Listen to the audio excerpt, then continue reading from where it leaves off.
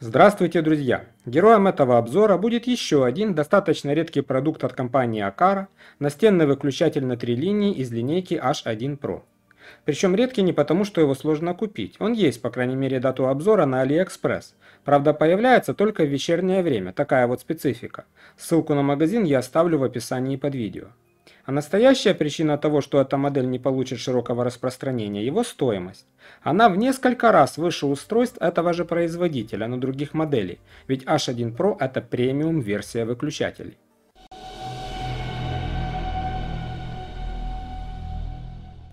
Название Akara H1 Pro, модель QB-KG32LM, интерфейс ZigBee 3.0, максимальная мощность нагрузки 2200 Вт, тип выключателя с нулем Три управляемые линии. Функции. Энергомониторинг, импульсный режим управления подсветкой клавиш. Рабочая среда. Температура от 0 до 40 градусов Цельсия, влажность от 0 до 95%. Размер 86 на 86 на 43,7 мм. Система управления Akara Home поддерживается в Apple HomeKit. Поставляется устройство в коробке из очень плотного картона с цветной полиграфией. Раньше мне такое оформление встречалось только у интерактивной панели Akara S1, которая конструктивно совместима с данными выключателями. На задней стороне параметры устройства, которые я уже проговорил. Благодаря такой упаковке можно быть уверенным в том, что девайс приедет без повреждений. С учетом стоимости этого выключателя это весьма важный момент. Комплект поставки одинаков и для премиум, и для обычных моделей – Кроме самого выключателя в коробке нашелся только пакетик с парой винтов для крепления в подрозетнике. Первым, что бросается в глаза, это цвет устройства. Он черный, хотя по умолчанию для устройств Акара он белый. Видимо, производитель сразу решил выделить гаджеты этой линейки. Количество клавиш равно количеству управляющих линий. Задняя часть. Тут продублированы основные параметры устройства и имеется 5 контактов для подключения, входящие фазой 0 и 3 исходящие управляемые линии. Особенностью конструкции также является съемная металлическая рамка. Для выключателя этой серии существуют монтажные панели для установки в один ряд двух, трех и четырех устройств. Правда, на дату обзора я такие встречал только на внутренних китайских площадках. Их вполне возможно заказать и там, но не исключаю, что они рано или поздно появятся и на AliExpress международной доставкой. Кстати, уже упомянутая мной чуть ранее интерактивная панель Akara S1 тоже имеет такую же конструкцию и может монтироваться в один ряд с выключателями этой серии.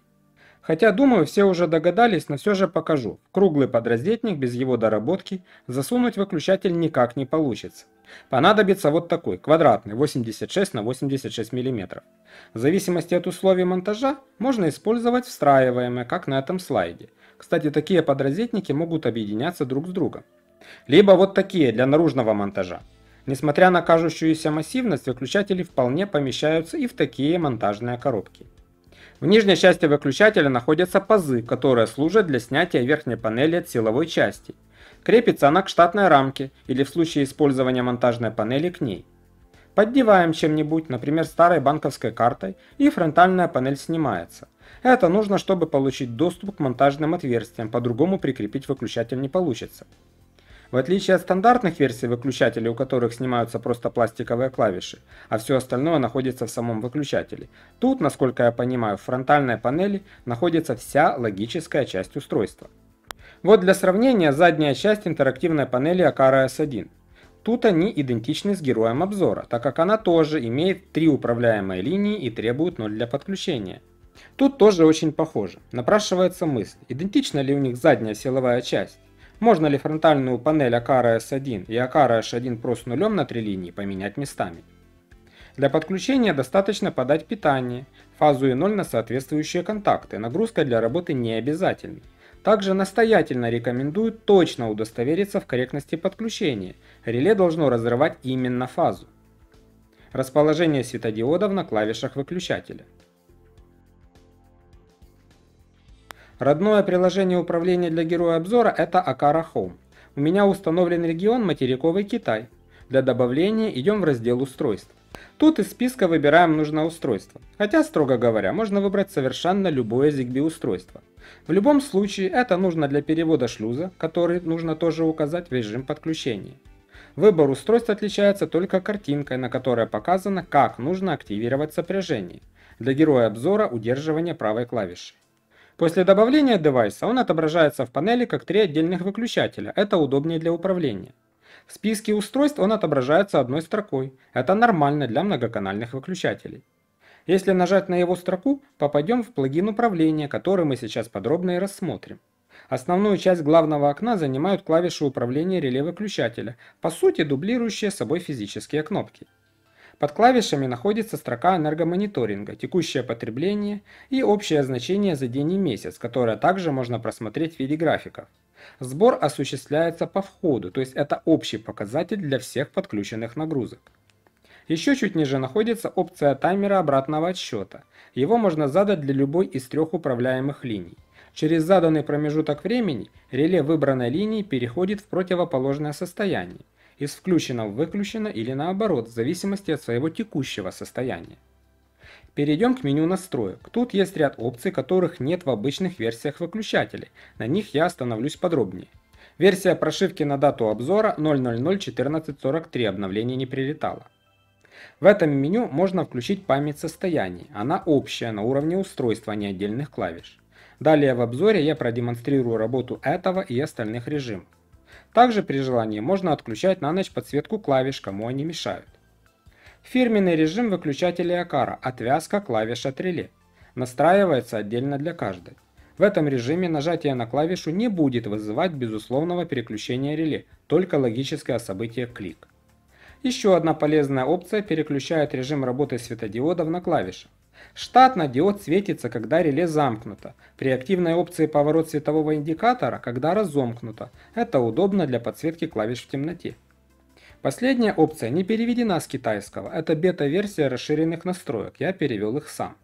Сам пункт переводится как настройки нагрузки. И первое меню, в которое вы попадете, нажав эту опцию, это выбор клавиши с первой по третью, настройки которой вы хотите изменить. Выбрав нужную клавишу, вы попадете в меню выбора нагрузки. Тут есть три варианта. По умолчанию стоит нормальная нагрузка. Это стандартная работа выключателя. Умная нагрузка – это, судя по всему, что-то вроде режима прямого управления другими устройствами. У меня в Akara Home устройств весьма немного, все в Home Assistant, поэтому продемонстрировать не могу. Но подозреваю, что тут может быть какой-нибудь, скажем, управляемый светильник или что-то в этом роде. Импульсный режим, тут интересно. При его активации выбранное реле автоматически включается. При попытке его выключить, оно через заданный в этом меню интервал времени от 300 до 2000 миллисекунд включается обратно. В каких кейсах использовать такой режим я пока не придумал. В меню «Инфо» на главном экране выбираем внешний вид для кнопок в плагине. Тут тоже есть непереведенное меню назначения, и здесь выбор из трех опций – выключатель, свет и вентилятор. Из того, что я смог обнаружить при изменении назначения, это просто количество иконок, которые можно выбрать для клавиш в следующем пункте меню. По порядку. Для выключателя доступно 10 вариантов, для света только со светильниками, но зато 11 вариантов и единственный вентилятор. Вот так выглядят различные варианты присвоения тех или иных иконок в включенном и выключенном состоянии. По сути, просто украшалки. Перейдем к возможностям героя обзора в автоматизациях и начнем с раздела «Если». Это триггер или условия для срабатывания автоматизации. Для клавиш поддерживается только один тип нажатия, однократный, после чего нужно указать клавишу. Также есть три варианта нажатия на две клавиши, что расширяет количество логических функций до 6. Востребованным это будет в режиме отвязки клавиш от реле.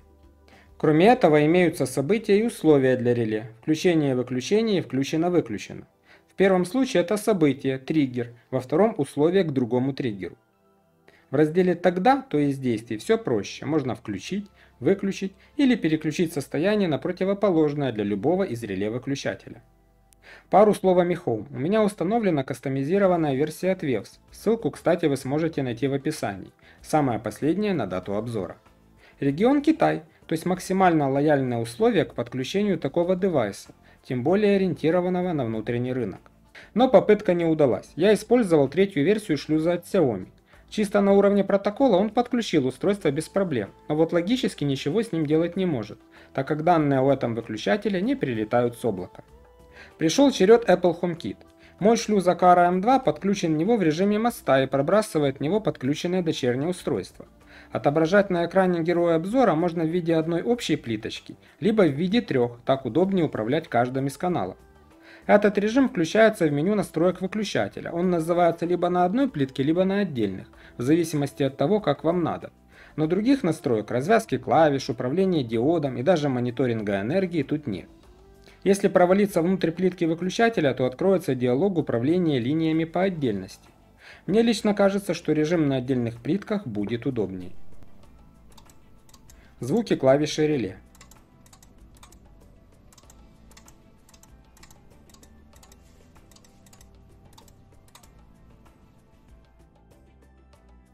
Память состояния. Режим по умолчанию.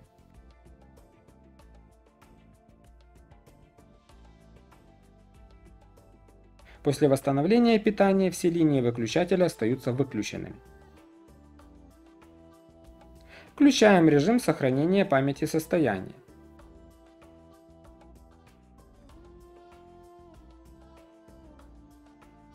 После восстановления линии, которые были включены, снова включаются. По умолчанию светодиоды включаются, когда реле замкнуто. Активируем режим поворот. Диоды теперь показывают выключенные каналы.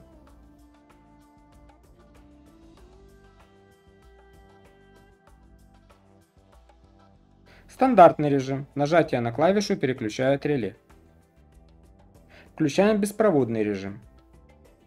Теперь реле не реагирует на нажатие, только если это будет прописано в автоматизации. Импульсный режим на 500 миллисекунд. Лампочка включается обратно через полсекунды. Скорость работы приложения Akara Home. Иногда есть небольшие задержки, но в целом быстро и корректно.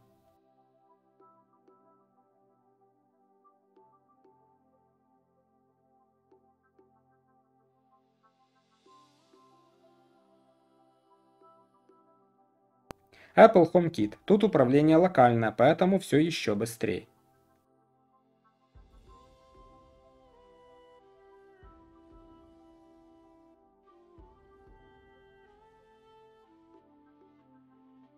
На дату обзора в ZigBee to MQTT официально поддерживается только двухклавишная модель из серии H1 Pro. Кроме нее есть много других моделей выключателей этого производителя, которые можно использовать как шаблоны для внешнего конвертера. После подключения на штатных конвертерах герой обзора не поддерживается.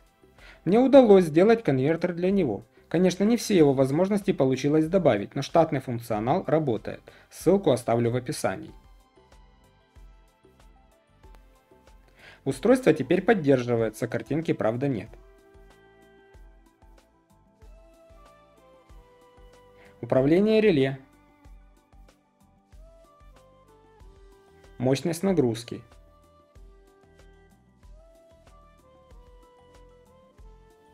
Обратная связь при нажатии на клавиши выключателя.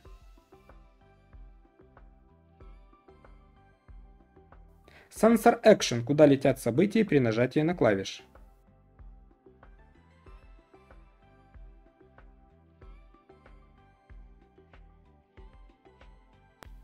Режим отвязки клавиш от реле. Логические события приходят, реле на нажатие не реагирует.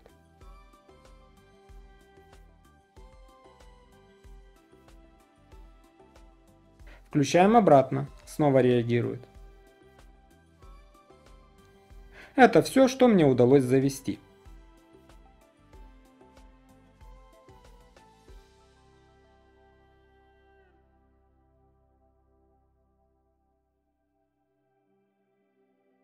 Код конвертера я выложил в общий доступ. Кто имеет желание, может его усовершенствовать, либо использовать как шаблон. С учетом того, что двухклавишная версия уже поддерживается, думаю, что рано или поздно появятся и другие. Несомненно интересный, стильный, качественный функциональный выключатель. Имеет ряд эксклюзивных опций, которые повышают уровень удобства работы с устройством. Есть возможность смонтировать в один ряд, но нужно искать рамки под него, но по крайней мере они существуют в природе. Минусом устройства стоит отнести квадратный подрозетник, что конечно решаемо, и высокую стоимость, Тут уж каждый смотрит по своим возможностям. На этом все. Надеюсь, видео было познавательно и интересно. Буду благодарен за ваши лайки. Если вы не хотите пропускать новые обзоры и уроки, подписывайтесь на мой канал. Ссылку на конвертер, а также на мой телеграм-канал и каталог устройств умного дома вы найдете в описании под видео. Поддержать мой канал вы сможете подпиской на сервисе Patreon, ссылка там же. До свидания, до новых встреч.